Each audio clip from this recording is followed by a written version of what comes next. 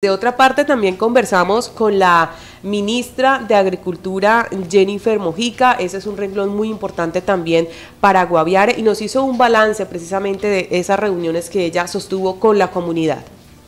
Bueno, el balance es muy positivo. Tuvimos un diálogo abierto y franco donde escuchamos todas las apuestas de estas comunidades campesinas que se la están jugando por la conservación y por la protección de este territorio importante. Desde el sector agricultura y ambiente estamos por primera vez articulados en un compromiso que el presidente Gustavo Petro nos ha ordenado y es garantizar la protección y conservación de la Amazonía con las comunidades campesinas con las comunidades indígenas, con las comunidades negras que habitan en el territorio. Para nosotros, la protección de la Amazonía tiene que ir de la mano de la protección de las comunidades y eso es lo que estamos anunciando aquí.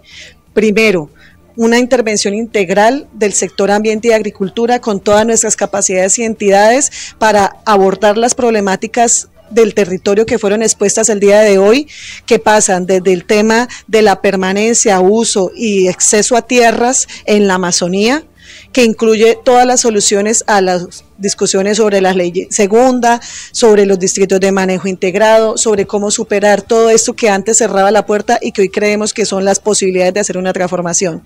Segundo, tiene que ver con la apuesta productiva de sostenibilidad. Todas las inversiones que debamos hacer para garantizar que quienes creen en la conservación y han mostrado su voluntad puedan hacer arreglos en sus ganaderías, hacer ganaderías sostenibles o regenerativas, acordes con esta vocación forestal. Estamos también invitando a generar un valor agregado a esta ganadería, sobre todo en temas de leche, con temas de transformación, pero también en temas de otras alternativas como las economías forestales, donde vamos a hacer inversión construida de la mano con estas comunidades. Y tercero, nuestra apuesta de reforma agraria para la Amazonía campesina de la agricultura tiene que ver con la estabilización de las zonas de reserva campesina. Aquí tenemos en la Amazonía cinco zonas de reserva constituidas y tenemos otras ocho zonas en proceso de constitución y la idea es poder implementar estos planes de desarrollo sostenible que fueron construidos por las comunidades para lograr esa transición hacia la conservación con las comunidades como protagonistas y cuidadoras del ambiente. En esta, en esta presentación, en esta rueda de prensa con la ministra Jennifer Mujica, ministra de Agricultura, también quisimos saber pues qué se le dice a los ganaderos en base al desarrollo sostenible en el departamento del Guaviare. Sin duda lo que nos mueve es poder garantizar una vida digna unos derechos a la tierra y unos derechos a un desarrollo productivo y económico que también genere dignidad e ingresos sostenibles a las personas. Por eso la ganadería es para nosotros fundamental. Soñamos con que esta región amazónica sea nuestro proyecto insigne que podamos mostrar al mundo y decir en tres años aquí hicimos unas inversiones, esto encontramos y vamos a entregar unas familias ganaderas pequeñas, en su mayoría en esta cuenca de, estas regiones. El 55% de los productores ganaderos son pequeños productores ganaderos en una agricultura familiar campesina. Lo que queremos es que estos ganaderos mejoren sus ingresos, tengan una ganadería más productiva, pero que también preste servicios ambientales, que puedan hacer restauración del bosque a través de estos arreglos y que también puedan alternar y diversificar con cultivos de agricultura sostenible como el café, como el maíz que nos plantearon acá, como el chontaduro, que es otra alternativa importante, como el cacao, que es también un producto de un gran crecimiento, que es un arreglo agroforestal importante para que aquí podamos tener mejores ingresos cuidando el ambiente. La ministra de Agricultura también se refirió a ese apoyo que dará frente al tema de titulación de tierras.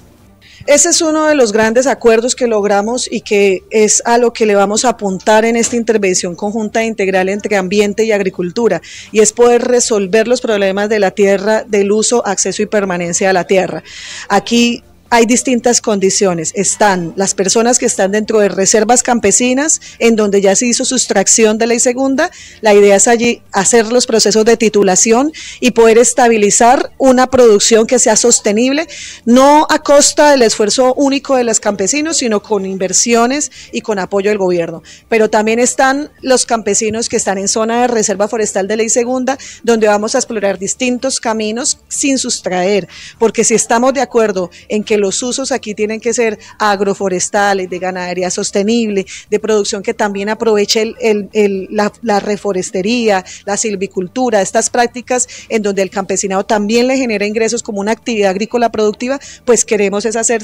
procesos de estabilización de derechos. Estamos también discutiendo entre los dos sectores un proyecto de ley que se tramita en el Congreso que busca la titulación verde en zonas de reserva, es decir, eh, hay un proyecto que estamos analizando y debatiendo en el Congreso para buscar poder titular sin sustraer con usos condicionados a estos acuerdos productivos donde el Estado va a pagar y ayudar a que se financien estas producciones.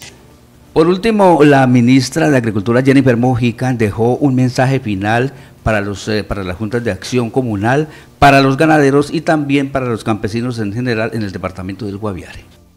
le hablo directamente a las asociaciones campesinas, a las juntas de acción comunal, a las asociaciones de zonas de reserva campesina, a los gremios de pequeños ganaderos. Son ustedes los que van a conservar su territorio, son ustedes los que merecen un acompañamiento del Estado. Esa decisión de conservar, de proteger, de hacer arreglos en sus formas de producción ganadera, de hacer arreglos en sus fincas, paga y va a pagar el gobierno nacional con el sector ambiental y con agricultura, apostando, financiando e invirtiendo en esa transformación para mejorar sus vidas.